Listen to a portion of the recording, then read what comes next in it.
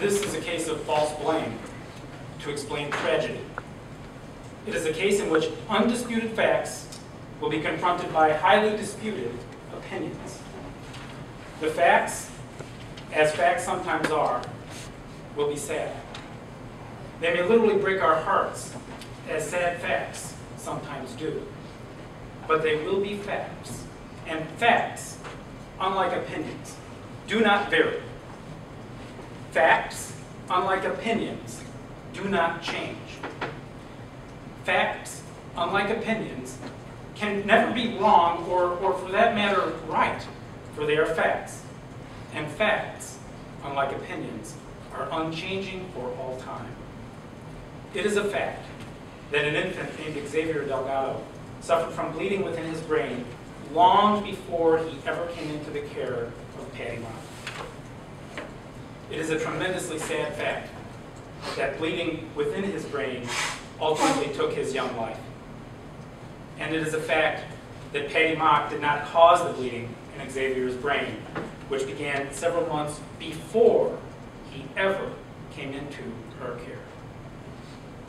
My name is James Norris, and together with my co-counsel Matthew Klein, it's my great honor this morning to be standing before you representing Patti Mock.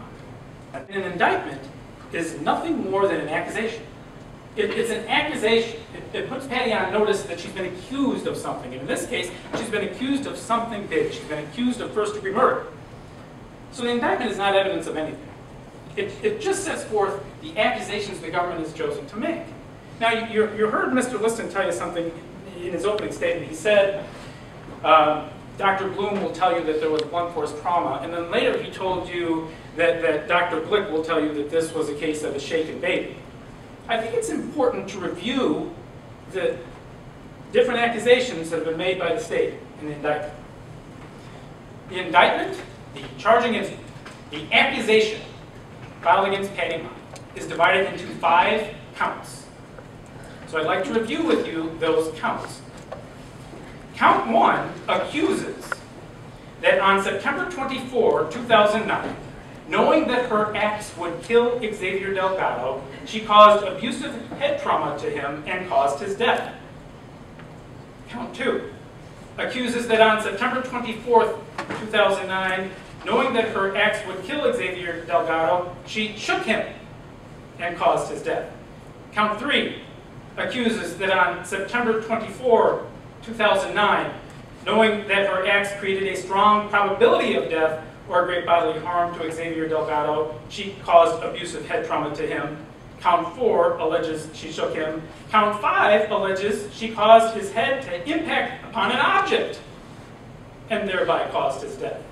Three different theories advanced in a five-count accusation filed by our government. Abusive head trauma, shook him, caused his head to impact upon an object. That's what she's accused of, and I think it's important to observe at the outset what it is that she's accused of. And in this case, three different, dissimilar theories. You will hear a description by Dr. Nelson and by Dr. Barnes that the April 21, 2009 CT scan showed evidence of a subdural hematoma. They will tell you that the April 21, 2009 CT scan showed that the baby had a subdural hematoma that on April 21st, 2009 was at least six weeks in age. Dr. Nelson will use these very words. No question about it. The government that has accused Patti Mock of blunt force trauma to a baby's head, the government that has accused Patti Mock of causing the head of the baby to strike an object will not refute Dr. Nelson's testimony that when he reviewed the September 24, 2009 CT scan, he looked for something he calls markers of impact injury. Specifically, he looked for scalp swelling, and he found none.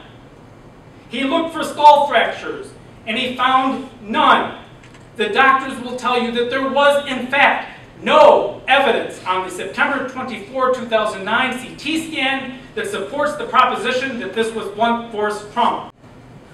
During this trial, there will not be a single witness who will claim to have seen Patti abuse Xavier. Not one single witness. Not one single bruise.